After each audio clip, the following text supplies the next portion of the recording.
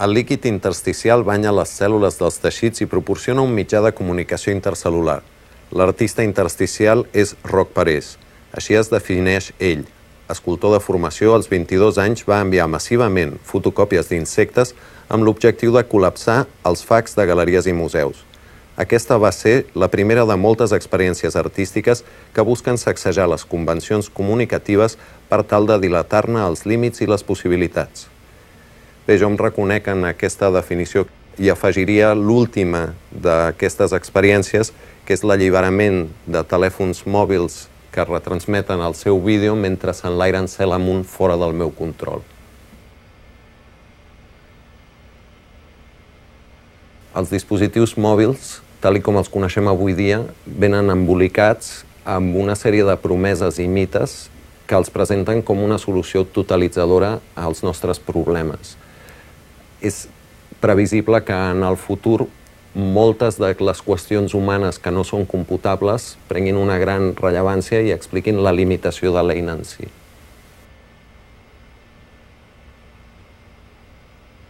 Les possibilitats futures dels dispositius mòbils tenen molt a veure amb les oportunitats que tingui la ciutadania de formar-se en el coneixement científic, tècnic, artístic i humanístic que comporta el propi dispositiu per arribar a entendre'l i no assumir-lo com una caixa negra. Des d'aquests treballs artístics que fan servir els ordinadors i les xarxes de formes no previstes, es busca la emergència d'una nova forma de racionalitat, o si voleu, d'una irracionalitat, que d'alguna manera se surt del que és l'ús instrumental d'aquestes tecnologies i obre espais d'expressivitat o de comunicació social que difícilment es podien donar en d'altres mitjans o en d'altres dispositius. Hi ha una sèrie de línies comuns que travessen els treballs de diferents artistes en relació als nous mitjans tecnològics i una de les més clares és la barreja entre art, art i activisme. En aquest sentit, hi ha una actitud d'activisme o artivisme en molts dels treballs que intenten extralimitar-se en l'ús, no necessàriament per fer un abús de la tecnologia, però potser per assenyalar les seves pròpies mancances. El que penso que cal dinamitar i intento fer-ho des de la meva pràctica artística és la utilització de les tecnologies de la informació i de la comunicació com una forma de convertir els éssers humans en hiperconsumidors.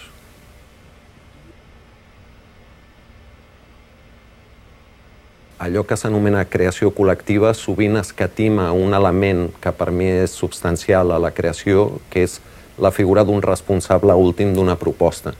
No vull dir que hagi de ser necessàriament un artista en un sentit romàntic individual, però penso que encara som lluny de poder establir una forma de creació col·lectiva on es dilueixi la responsabilitat última de la proposta.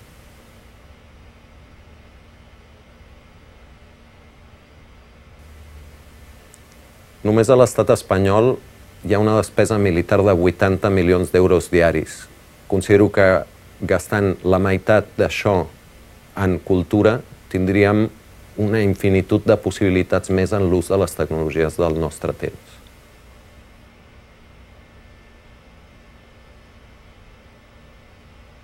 Jo no citaré un text, sinó que citaré un projecte, és megafone.net, de l'artista català Antoni Abad, on treballa amb eh, col·lectius amb escassa visibilitat en els mitjans de comunicació, oferint-los telèfons mòbils.